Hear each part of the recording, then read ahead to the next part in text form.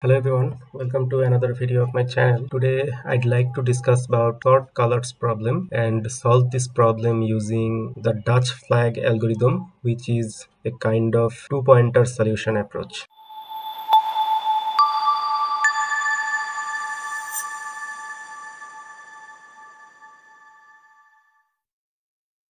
Okay, let's have a look at the problem at first. It says that we'll be given an array nums with n objects which will be colored either red, white or blue. What we need to do is sort them in place. Remember the word in place so that the objects of the same color are adjacent with the other colors in the order red white and blue. So we, are given an order. The all the red colored objects will be at first after that the white colors and at last the blue colors. So we'll be denoting the colors with code. For red it will be 0 for white it will be 1 and for blue it will be 2 so what this problem becomes it becomes that we'll be given an array having values whose value can either be 0 1 or 2 and if you have a look at this example in this array these uh, elements are unsorted state. That means what we need to do is simply sort them. If we sort them definitely all the zeros will be together.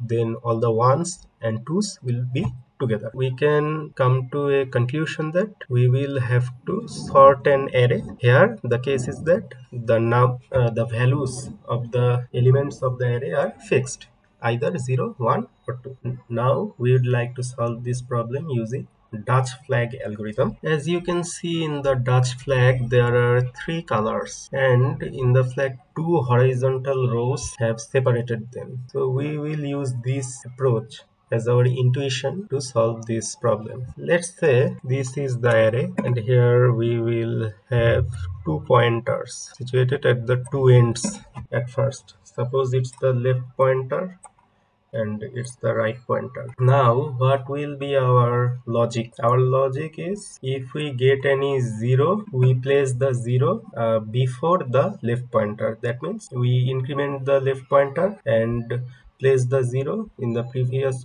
position of the left pointer. So what we have done is we have placed the zero at the left pointer's position and increment the left pointer. Now if we get a 2 we will have to place it next to the right pointer. That means the, at first the 2 will be placed in the position of the right pointer and the value of right pointer will be decremented by 1 now what we are left is 1 if we encounter any 1 we do need to do nothing we just place 1 in the middle thus we can sort them in line and we do not need to use any external space remember the thing we simply use the same array that is given to us and we solve it in linear time. Now let's come to the algorithm and solve a given example according to it. We have taken an example array we'll implement our algorithm here. At first we have initialized our pointers. Both the left and current pointers will be at the very first index and the right pointer will be at the very last index. Here the task of the current pointer is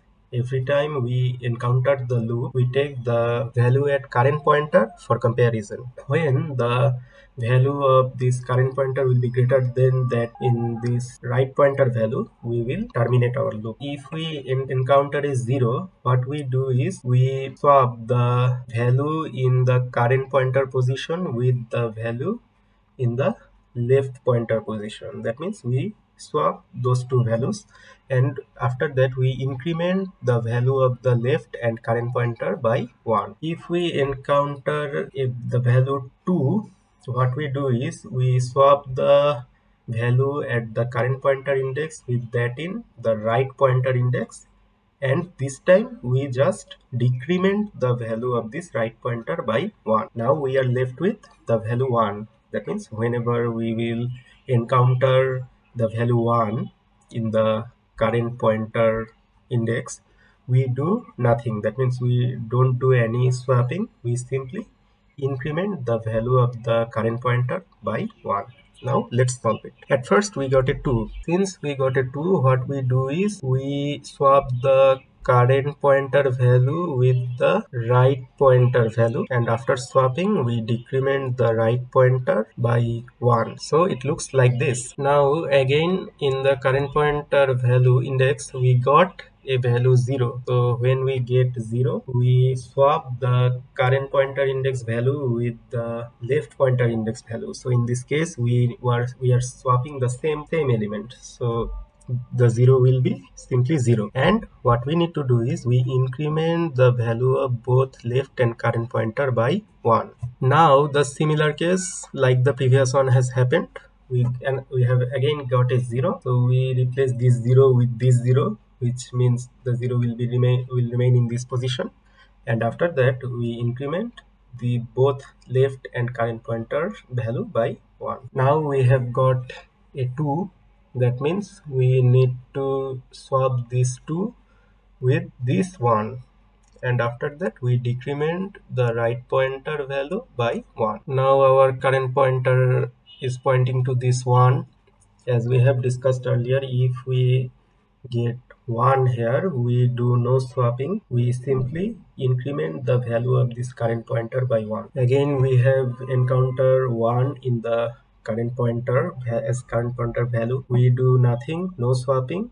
We increment the value of this current pointer by 1 now if we have a look at the values of the current and right pointer this means the current pointer has been greater than right pointer. That means we are done. Our loop will be terminated here. And if we have a look at the array we got our answer. So if we solve the problem using this dutch flag algorithm what we can see is we can solve this problem in linear time. That means big o of n and here we have used no external memory. That means our space complexity here is constant. Now let's solve this problem in LeetCode so this is our problem and this is the solution using C++ and using the way we just discussed. Let's submit this problem. We got success and I will give you the link of this problem along with the link of this solution in the description box. I hope you guys have understood the problem and also the solution approach. Thank you everyone for watching the video.